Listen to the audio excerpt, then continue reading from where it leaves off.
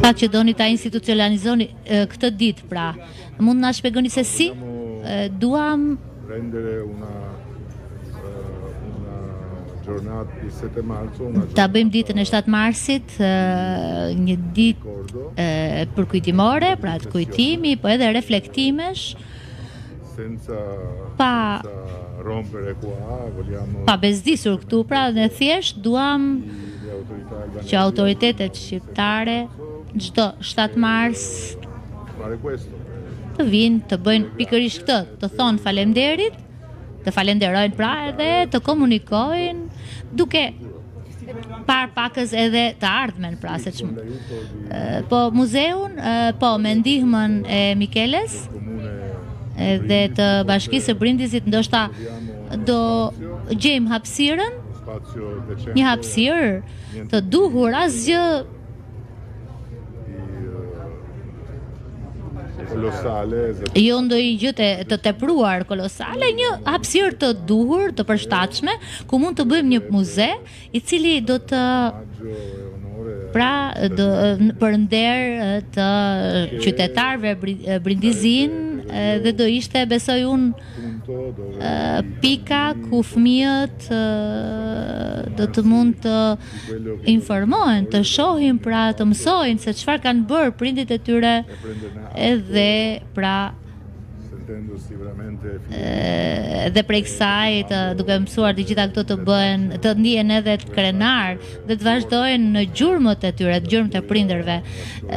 sepse kjo është historia e Italisë, është historia e njerëzimit. Jam e lumtur që t'ju dorëzoj këtë dhuratë, pra t'ia dorëzoj kryeministrit të zotit Edi Rama dhe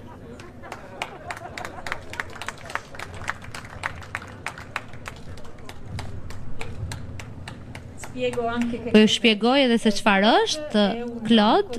është një dokumentar i shkurtër. i realizuar brenda një uh, projekti Interreg, një projekt bashkëpunimi midis Puljas dhe Shqipërisë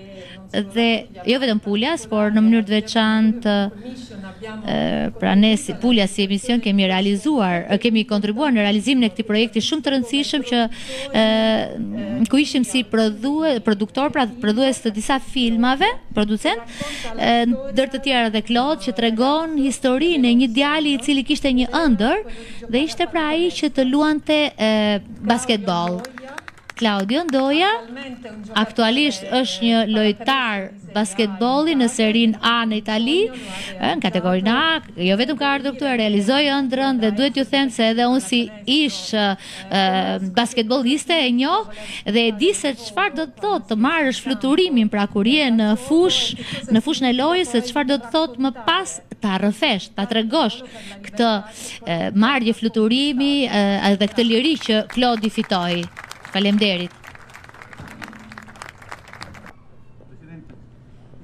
Zoti kryetar, ky është një një kujtim, është një foto shumë e bukur e Taskos që ka bërë shumë foto ato ditë.